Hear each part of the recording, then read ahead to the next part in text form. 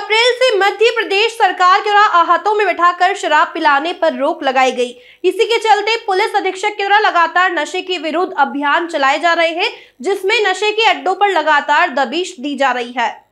इसी दौरान मुखबिर के द्वारा बताया गया कि तारखेड़ी बाज़ार के पास अजय गुंडिया की अपने मकान में ही दुकान है।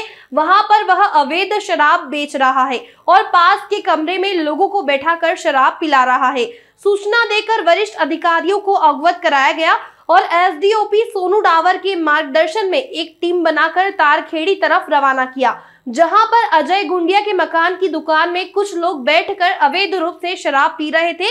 दुकान में से करीबन छह पेटी अंग्रेज़ी देशी शराब, कीमत बीस हज़ार चार सौ रुपए को मौके से जब्त किया।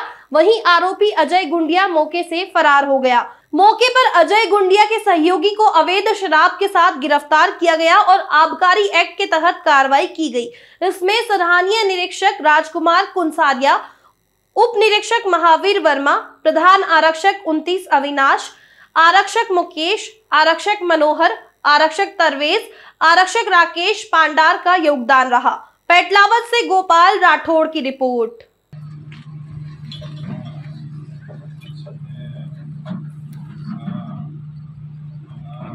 हाँ हाँ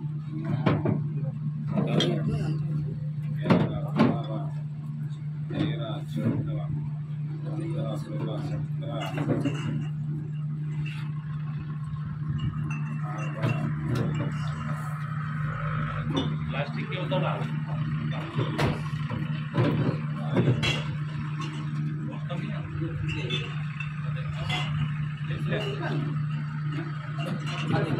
नीचे हाथ लगाना पहले बता रहा हूँ तो निकाल ली नीचे हाथ लगा के।